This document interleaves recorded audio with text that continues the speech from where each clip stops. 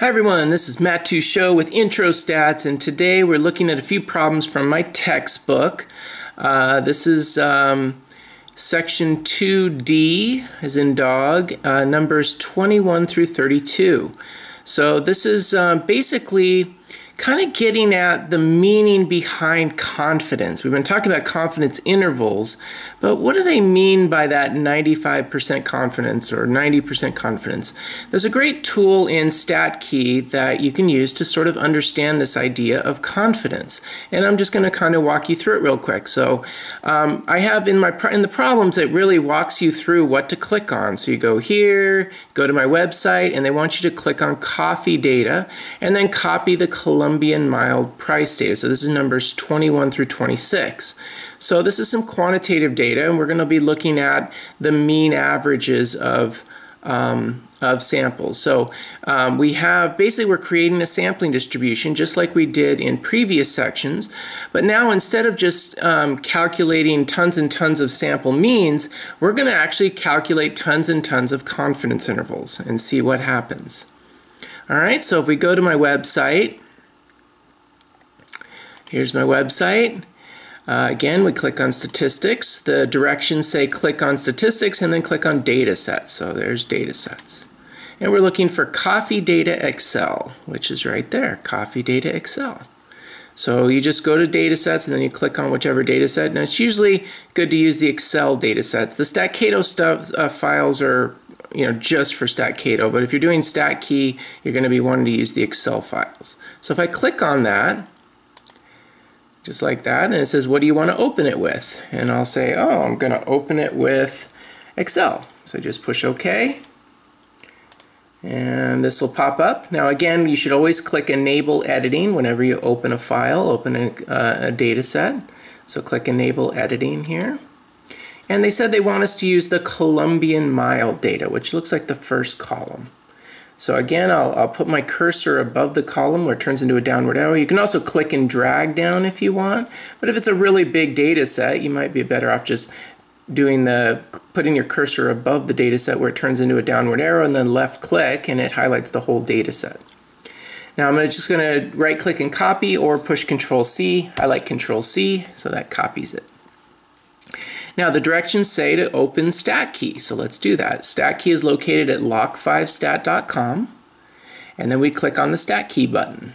So when you first go to uh, lock5stat.com, takes you to this, and then you click on it here where it says StatKey. Okay, now once you do that, um, now you can, uh, you're going to go to, it says uh, click uh, uh, sampling distribution for the mean. So we're going to go right here, sampling distribution for the mean. Again, these are just directions right off the problem. It tells you what to click on. So sampling distribution for the mean, I'm going to click on that. It says it wants me to put in this data. Now we're assuming this is sort of like population data. This is like a census. So because we are making a sampling distribution from this population. So I'm going to click edit data. I want to delete out any data that's in there. So Control A is a good way to highlight everything and then delete. Okay, now I'm going to push Control V and paste it in there. Now again, one of the things with data sets is, first of all, it does not have an identifier. There's not a number, a word next to every number. That's called an identifier. So always uncheck this box that says identifier. It does have a title. So I'm going to leave the where it says header row, that means title. Now if your data set, if you didn't use the title, if you got rid of that title, then you would click uncheck the box that says header row.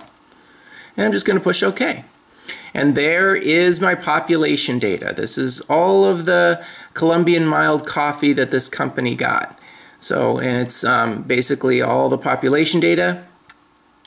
Um, let's kind of see what the, um, they did say in the problem to uh, put the sample size as 30. So I'm going to do that. So right here it says sample size n equals, I'm going to click and put in 30. It's almost identical to what we've done previously when we're making a sampling distribution from a population. I want to take thousands of random samples, all of size 30 from this population. That's what the computer's going to do for me. Okay? So, um, the, fir the let's see what the questions are. Let's go ahead and make the sampling distribution. Again, it tells you what to click on. You just have to kind of follow the directions. it says go ahead and generate a thousand samples a few times. So let's do that. Notice what we have is a sampling distribution. Basically, we have 3,000 random samples here, uh, and then 3,000 sample means all on the same graph, right? And again, I can see sampling variability at work. The population mean is 136.427. Here's the population mean right here at the top right where it says population. So there's the population mean right here. There it is right there. So that's the population mean. But notice my sample means are all over the place, right? Very few of my sample means are around 136. I, got I got sample means of 115 all the way to 160, 165. So a lot of sampling variability there, right? So just like what we learned before. So it says, notice the now um, now it wants me to make the confidence intervals. So what I'm going to do is I'm basically just going to make confidence intervals from this samples. So in every one of these samples, it's going to make a confidence interval. You do that by clicking this button that says confidence interval button. So if I click on that, notice it basically uh, created tons and tons of confidence intervals. Now, it might be better for me to, to reset this and go a little bit slower. So for example, if I generate uh, one sample, this one sample right here has a sample mean of 142, and this bar, this green bar right here, represents um, the confidence interval that was made, the upper and lower limits of the confidence interval. Now the population mean is denoted by this dark line right here. So if the if the confidence if the population is in between the two numbers, the upper and lower limit of the confidence interval, it's denoted as a green confidence interval. This confidence interval succeeded. The population actually is in between the two numbers. Now, if I do this again, right, I generate another sample. Now, this other sample had a, a sample mean of 143, and again, um, I'm sorry, uh, and then we, we go ahead and put those in here, and there's another confidence interval, and so on. So you can kind of generate samples. So you kind of keep generating samples. Now, right now, I'm set at the 95% confidence level, but you can actually change it to 90 or 99 or even 80. Now, the key, the key is here, look at these confidence intervals. They all are green. They're all containing the population value. But if I keep going with this, oh, look at that. I got one now. I got one that's red. See this red goes with this dot right here on the far right. It's almost like an outlier in the sampling distribution. The sample mean is so far off from the population mean that even if I put a confidence interval around it, the population is value is not in between the two numbers, right? So this is what we mean by confidence, that not all confidence intervals succeed. The green ones, they succeed, the red ones, they do not. So if I, I started, when I started out, I was at 100%. But now, you know, after 22 of these, I, am at I'm at 95%. And the more of these samples you take, the closer this number sort of it, it'll go up and down and up and down and up and down because of sampling variability, but it does sort of get closer to 95% the more you do this. Okay, so let's see if we can answer the questions now from this. I'll just use what I got here. So I, the first question says, um, notice that the confidence intervals were different each time. Discuss the implications of sampling variability on the accuracy of a confidence interval.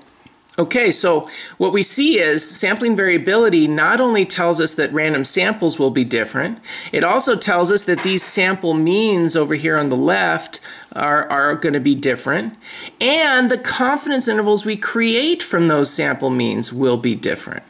Okay? So we got different samples, different sample statistics, and different confidence intervals. Every time you take a random sample, you're going to get a different confidence interval. That's what sampling variability tells us. And this graph over here with the green and red shows that. Okay. Um, if we kind of move on here, the population mean, um, we saw that already. How many total random samples did you take? You can kind of look, I took 22 there. How many of them were uh, green? Um, that would be 21, and that was about 95%. Uh, how many did not contain the population mean? I had one out of 22, which was pretty close to 5% here. As the number of random samples increased, did the percentage get closer or farther away to 95%? Now this is kind of a tricky question with number 25 because you know there's so much sampling variability. But theoretically, usually if I take just a few samples, I'll be pretty off from 95%, but the more samples I take, the more the number will start to get closer to 95 in general. That's theoretically. So what does this picture tell me about the definition of 95% confidence? 95% of confidence intervals created contain the population value and 5% do not contain the population value. They want us to explain that definition. Well, if you look at the picture here, you can kind of see it. About 95% of the confidence intervals we make will be green, right? They'll contain the population value. And about 5% of them will be red. They will not contain the population value. So this implies that not all confidence intervals actually succeed. About, I will expect about 5% of confidence intervals we make to not contain the population value if we're dealing with a 95% confidence level.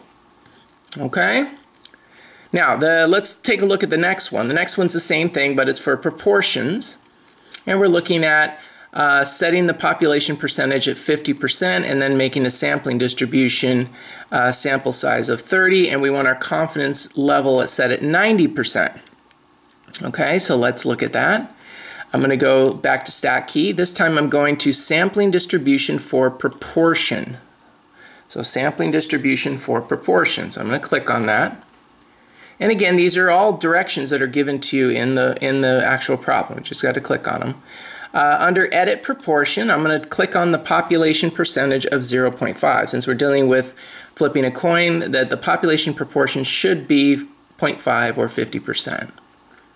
Now they want me to set the sample size at 30 again, so I'm going to do that. Set the sample size at 30. And again, uh, I'm going to go ahead and um, uh, go ahead and generate some confidence intervals. So um, if I click confidence interval here, there we confidence interval, and that, that dark line in the middle is set at 0.5. That's the population proportion.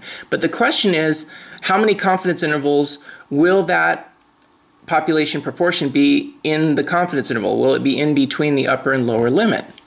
Well, if we take a look,